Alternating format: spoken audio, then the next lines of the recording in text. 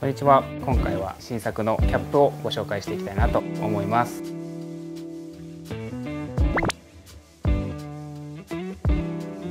リバーシブルのキャップになります。柄はペイズリー柄になってて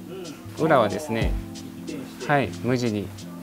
なって、まあ、日によって変えてみたり気分によって変えてみたり、はい、使い分けれるキャップですね。なんか行く場所とかにもよってキャンプの時は柄物かぶりたいけど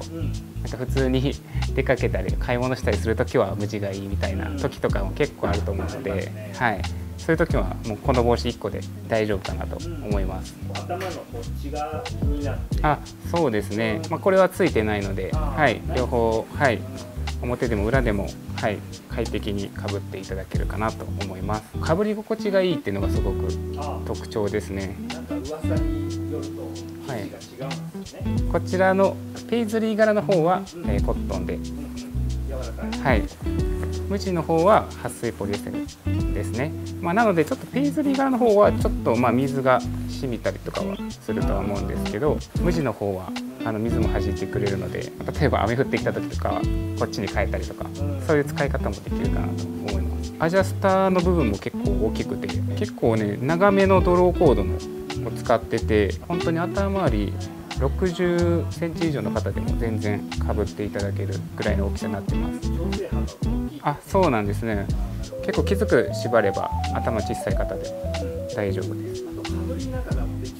あそうですね。それは大丈夫です。簡単にボタンを上下させるだけなんで簡単にはい。そう特徴としては、まあ、このつばですね。表と裏でもちろん柄が違うんですけどワイヤーが入ってて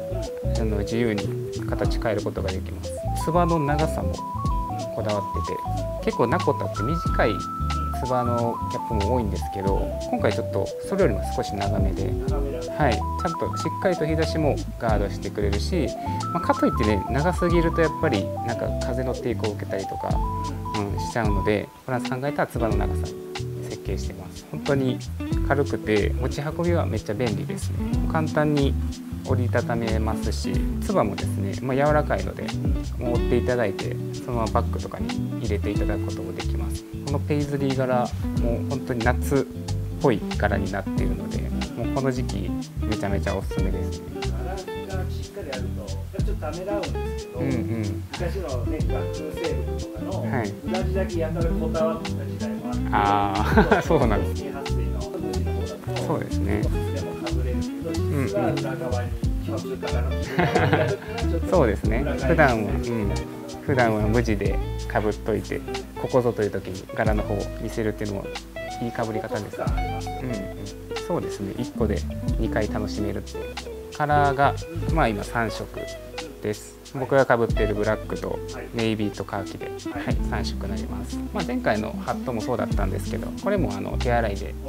お。手入れできるのでそうですね。もうはいこの夏ね使った時はすごく匂いとかもね汗とか気になると思うんですけどもうジャブジャブ洗ってもらって大丈夫なので。では今回、えーと、夏の、えー、新作のリバーシブルキャップ紹介してきましたけどもはい概要欄にリンク貼っておりますので皆さん是非チェックしてみてください。それじゃあまた。はい。